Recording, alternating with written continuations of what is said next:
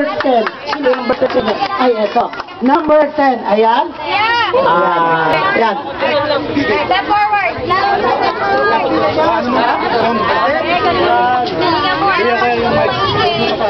Ah, number 10, ah, kung sakaling ikaw ang maging little San Rafael, ano ang iyong gagawin sa iyong sarili? Ano po, tutulungan ko po yung mahihirap na sa barangay.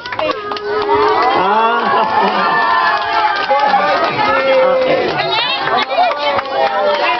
oh, sige, ano pa? Ano pa?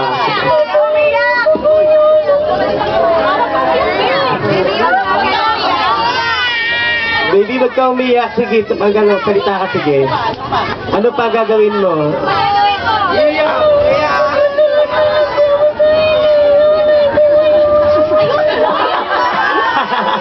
okay, okay, sige. Thank you. Thank you, contestant number 10. Balik ka doon. Kaya naman. Talaga naman na yung mga pinagano nila eh. Okay? Judge?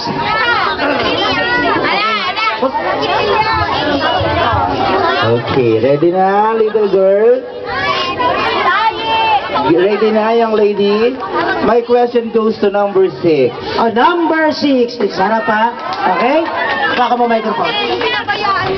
Kinakabahan ka, baby? Hindi po. Very good. Okay.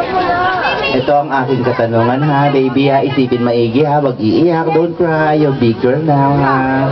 Okay, kung sakaling ikaw ay magiging kagawad ng barangay ng San Rafael, ano ang gagawin mo? Joke lang. Yeah, hindi yun. Kung sakaling ikaw ang mananalo sa patimpalak na ito bilang isang Miss Little Girl, ano ang gagawin mo sa iyong premyo? Gagawin ko po sa aking premyo ay ibibigay ko po kay Papa tsaka po kay Mama. Very good. Salamat. Maraming salamat, contestant number 6. kaya, okay? Judge? Yan.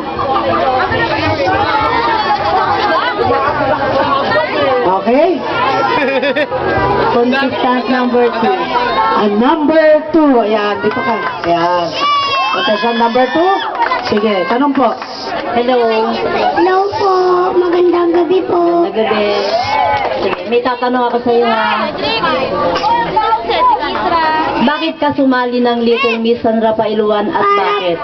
Para po mapakita ko po yung talent ko para makahusay ko po po.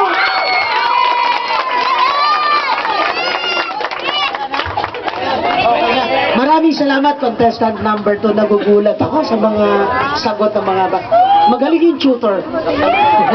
okay? Judge? Bata, alis dyan ah. Ah, contestant number 8. Number 8. Dito ka, dito ka. Kaya si Miss, Miss Little Cute. Anong pangalan mo, be? Tisha May Orias po. Aisha. Ah, oh, sige, ang question ko, sakaling makapulot ka ng pera, anong gagawin mo? Bibigay ko na lang po sa mama ko kasi po hindi ko alam kung sinong may-ari.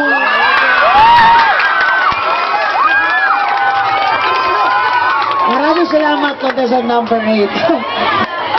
Mahihirapan na naman kayo magtalo nito. Okay? Okay.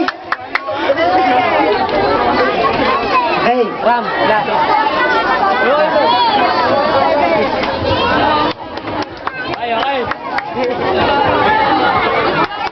Okay?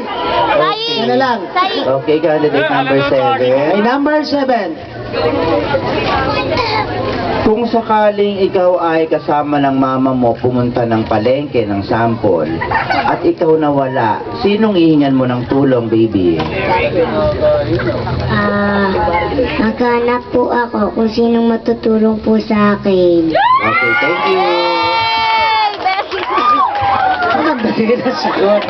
Pahirapan na naman to. So, Ano ba naman to si ano Ayan. mukhang pahirapan na naman kayo nito. Ayan. ano?